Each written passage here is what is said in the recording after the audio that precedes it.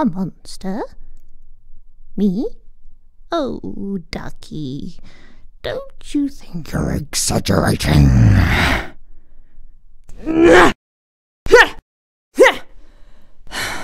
This is what I get for hiring amateurs.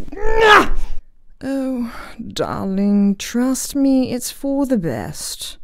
She wasn't your type. Your type is someone called Tiffany, not the one who wears Tiffany.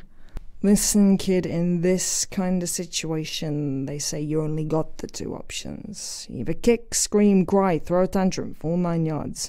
Or you say it is what it is, and you just give up like any other apathetic prick. Personally, I like to go for the third option. Give them all a rifle, let them sort each other out, then let God sort them out. Quick, clean, simple. Oh, you do flatter me, young man. By the way, that can be easily arranged. This is me doing a cat.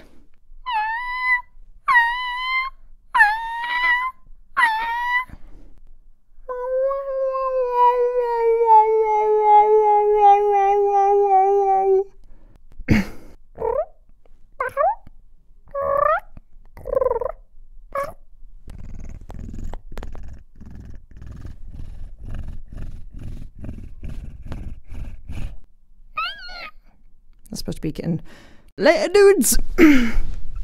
Jocasta out.